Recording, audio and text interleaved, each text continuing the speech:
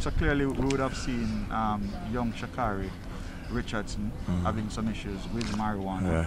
Yeah. Um, she's out of the Olympic Games. What, what would be kind of your thoughts to her as, as she tried to rebound? and come in?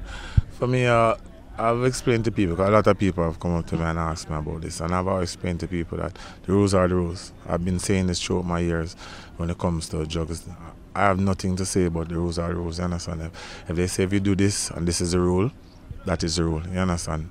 So for me, hopefully she can learn from this and just push on. Uh, I know that she has gone through a lot, you understand? But I hope she can refocus and just push on and do her best because she's like a really talented athlete.